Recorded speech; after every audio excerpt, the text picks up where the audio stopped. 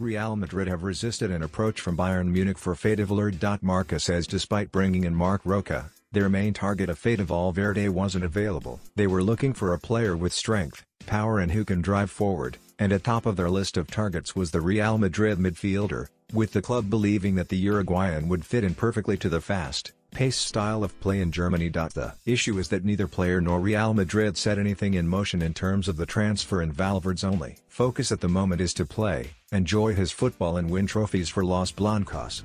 Nothing is going to distract him from that. Also, Bayern and Real Madrid's directors maintain a good relationship and are part of a set of clubs who don't want to attack any other party with aggressive tactics or attempts to steal a player away in the final moments of the window.